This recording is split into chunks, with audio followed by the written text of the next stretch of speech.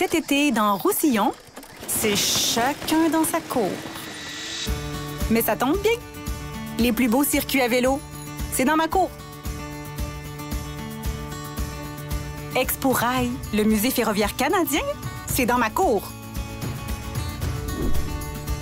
Au bord du fleuve, le récré au parc, c'est dans ma cour. Hum, les vignes, c'est dans ma cour. L'île Saint-Bernard, ben c'est dans ma cour. Le musée d'archéologie de Roussillon, hein? ça aussi, c'est dans ma cour. En fait, la seule frontière, c'est notre imagination.